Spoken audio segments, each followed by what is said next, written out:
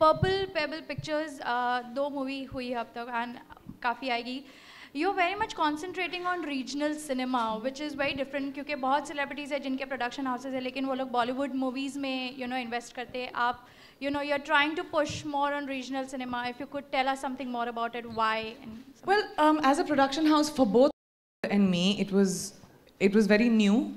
um, and being able to work with wonderful actors like this and give opportunities to actors who want to do good work वो मेरे लिए बहुत ज़रूरी था। क्योंकि बहुत सारे टैलेंट है मुंबई में ही आप देख लें जहाँ हम लोग रहते हैं पूरी इस हमारे देश में जिनको अपॉर्चुनिटीज़ नहीं मिलती। तो the reason for and specially regional cinema को वो ग्लोबल प्लेटफॉर्म देना या वो पोजिशनिंग देना uh, मेरे लिए वो बहुत ज़रूरी था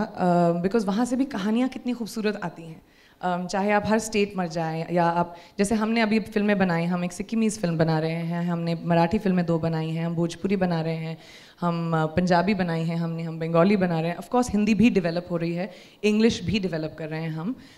एज अ प्रोडक्शन हाउस हमने काफ़ी वक्त बिताया है for the last one two years